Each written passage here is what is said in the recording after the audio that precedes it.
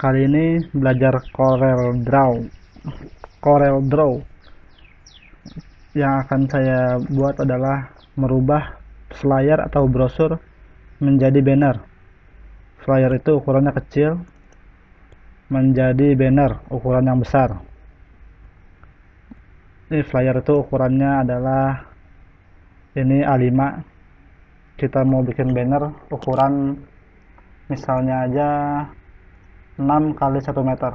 Ini tinggal di copy terus di paste. Lalu kita rename 6 kali 1 meter. Kita buka. Nah seperti ini. Ini ukuran yang awal.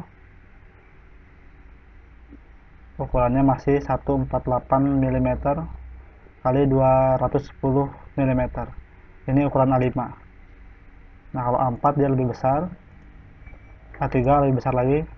Dan yang akan kita bikin itu sangat besar yaitu ukuran 6 meter atau 6000 mili kali 1 meter atau 1000 mili 1000 milimeter. Ya. kertasnya sudah berubah. Sudah berubah. Kita lihat seperti ini karena sangat panjang mungkin kita bikin saja ukuran 5 meter atau 5000 mm nah seperti ini. Ini jika di, langsung dibesarkan. Nah terlihat di sini. Ada banyak shadow yang pecah dan ini ada garis yang sangat kecil.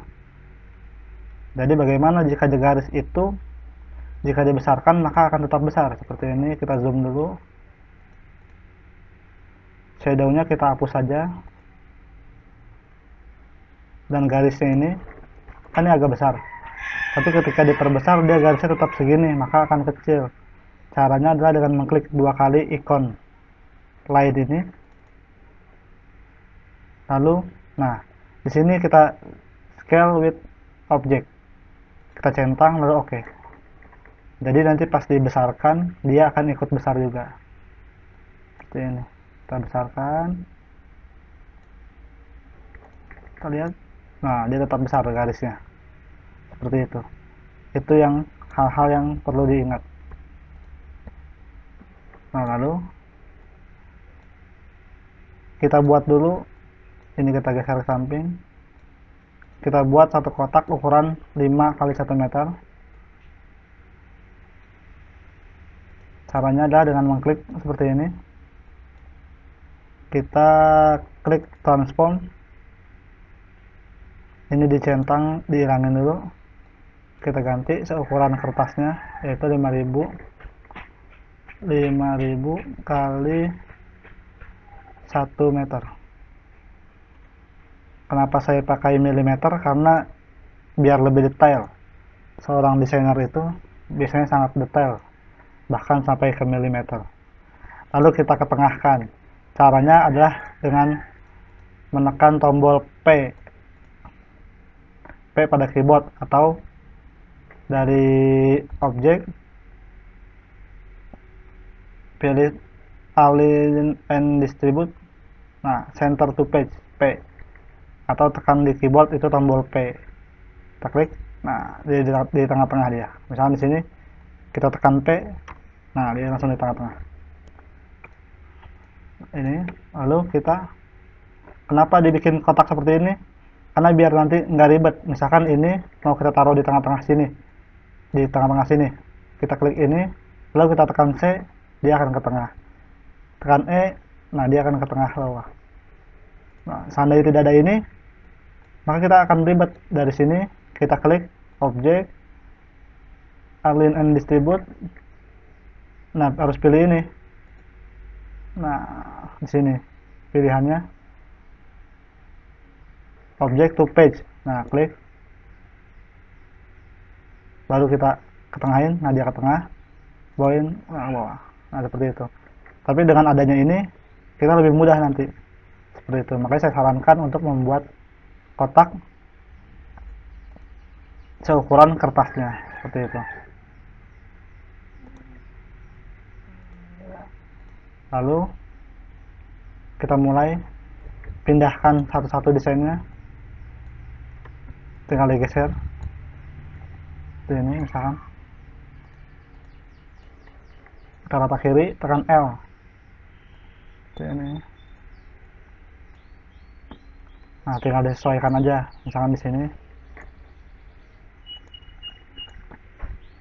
Ini tetap di tengah karena ini konten yang mau ditonjolkan.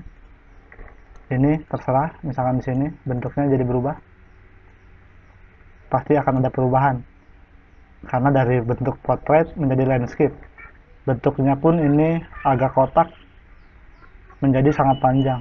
Pasti ada yang berubah desainnya tapi kita hanya geser-geser aja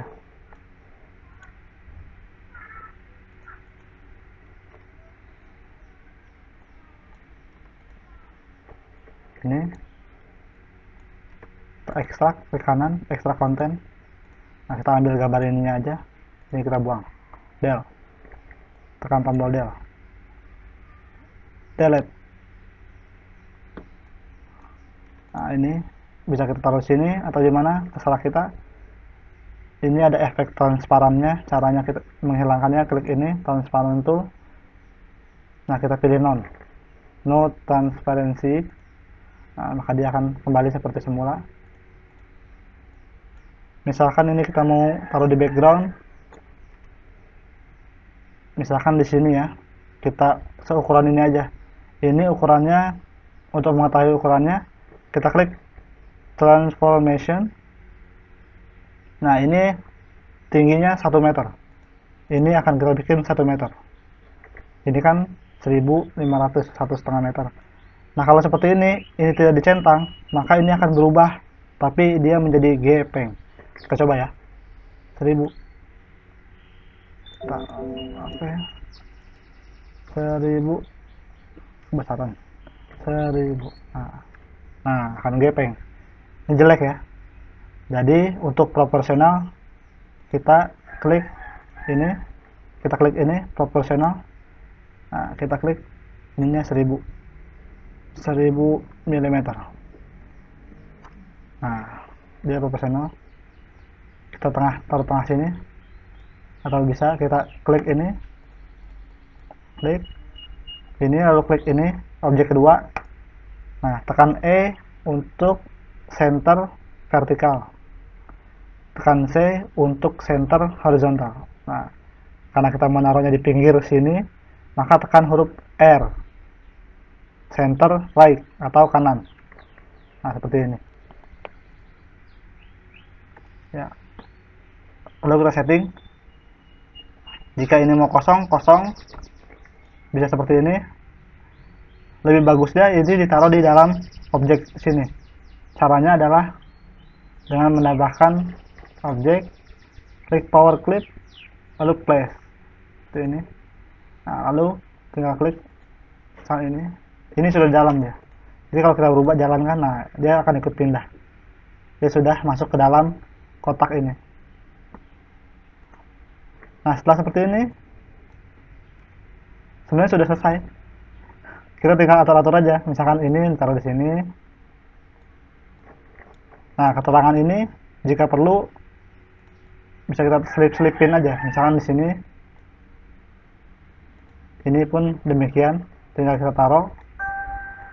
Ini pun demikian, ini pun demikian. Kita geser-geser atau misalkan ini kebesaran, kita kecilin. Seperti itu. Ya demikian tutorial ini. Tutorial membuat uh, flyer atau brosur yang sudah kita buat menjadi banner dalam ukuran besar. Semoga bermanfaat. Assalamualaikum warahmatullahi wabarakatuh